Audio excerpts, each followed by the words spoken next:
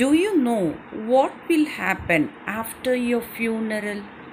In a few hours, the cry sound will be completely stopped. Family will be busy ordering food from hotels for relatives, grandchildren running and playing.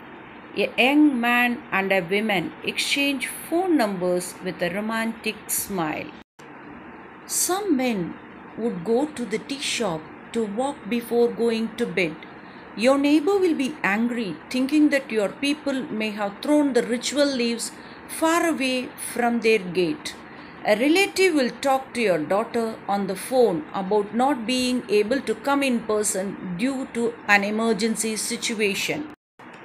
At the next day's dinner, few relatives get reduced and few complains not having enough salt in the curry.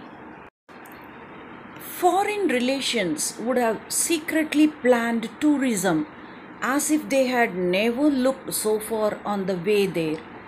A relative may be complaining about funeral that he has spent a few hundred rupees more on his share. The crowd will slowly begin to dissolve. In the coming days, some calls may come to your phone without knowing you are dead. Your office will be rushing to find someone to replace you. One week later, after hearing the news of your death, some Facebook friends may search with curious sadness to know what your last post was. In two weeks, your son and daughter will return to work after their emergency leave gets over. At the end of the month, your spouse will be watching a comedy show and laughing. In the coming months, your close relationships will return to the cinema and the beach. Everybody's life will go back to normal.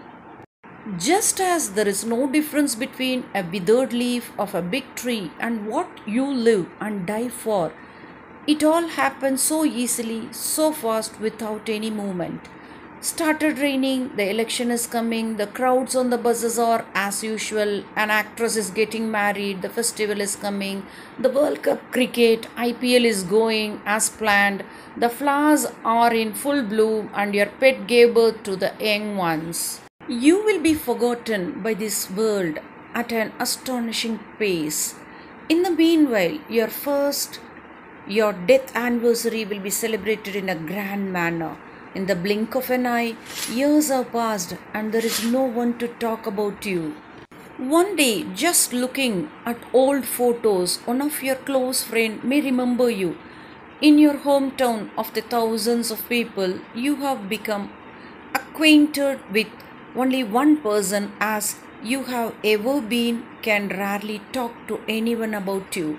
You may be living elsewhere as someone else if reincarnation is true. Otherwise, you will be nothing and will be plunged into darkness for decades. Tell me now, people are waiting to forget you easily. Then who are you running around for? And who are you worried for? For most of your life, say 80%, you think about what your relatives and neighbors think about you. Are you living a life to satisfy them? No use. Life is once, dude. Just live it.